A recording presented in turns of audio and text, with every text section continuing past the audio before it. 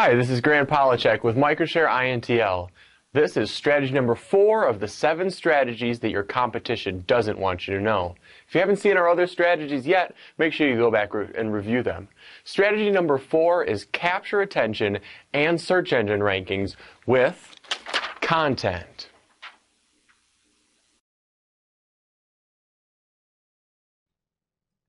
Humans and spiders, oh my! Here's how this works. You're writing for two distinct groups.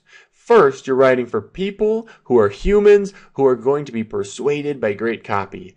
Next, you're also writing for search engine spiders.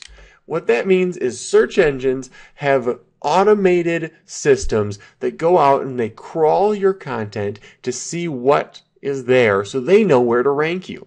Here's how this works. Let's say you're searching for Barrington Painters and you want to know why this first website, Barrington Painters Choose the Best, is showing up as number one. Well, click Cached and look at it. As you can see, this is my website, and the reason it's ranked number one is because I told Google exactly what I wanted.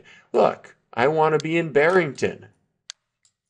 Is Google going to be confused when I write Barrington all over the place? I also want to be in Painters. Here it is. Here it is. This is why Google's ranking me because I'm telling it exactly what I want. You guys probably don't know this, but I just got married. And sometimes I think my wife should know exactly what I want when I want it. And you guys know that that doesn't work very well. I have to tell her what I want if I want her to do it, if I want to get something. And that's how Google is. It can't read your mind. It doesn't know where you want to be ranked. Tell Google by including the keywords that you want to be ranked for in your website. So what's next? Here are the nine content writing rules. The first thing you got to do is you have to write great content. You're writing for humans. They have lots and lots of things coming at them all the time. Information overload. You have to write a title that catches their attention and gets them excited about what they're about to read. Here's the trick. Find a magazine in your industry. Magazines make most of their money by catching your attention when you're standing in line at a grocery store or something like that. They know that you're standing there, they know you have nothing to do, so they put great headlines out that are going to catch your attention, and you're going to say, I really want to know what that article's about. You're going to buy the magazine, you're going to take it home. So, find those magazines in your industry and see what they're doing. Don't steal their headlines, but take their format. The nine best, whatever it is that they're using, you should use it too.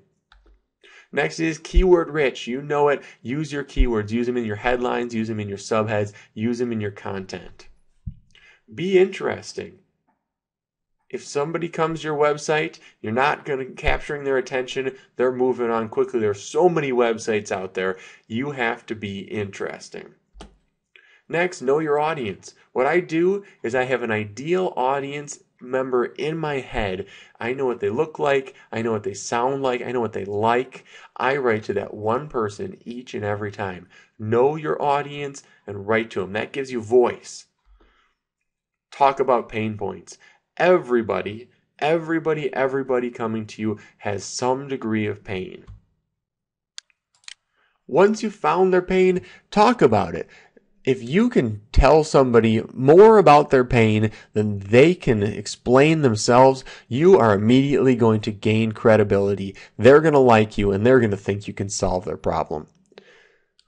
The next thing you have to do is you have to give away value. If you don't have free stuff that's going to be valuable to your customer on your website, easily available, they're going to go find it somewhere else.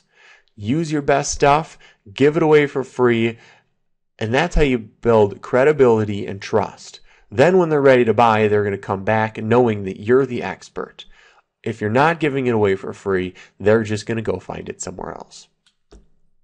Differentiate. What makes you different than Joe Schmo down the street? Tell people that you have a great product that's different and valuable. Reassure. Here's a really nice internet marketing secret that a lot of people aren't using. People with pain People who are going to buy something also have insecurity. Tell them it's not their fault. Everything's going to be okay. You're going to fix their problem. Give them that warm, fuzzy feeling.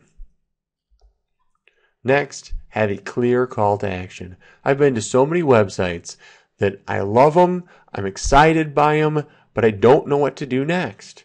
Tell people clearly what's next, what do you want them to do. So those are the nine content rules. Use them, love them, live them, create great content. Thank you. Sign up for my YouTube and I'll send you some more videos.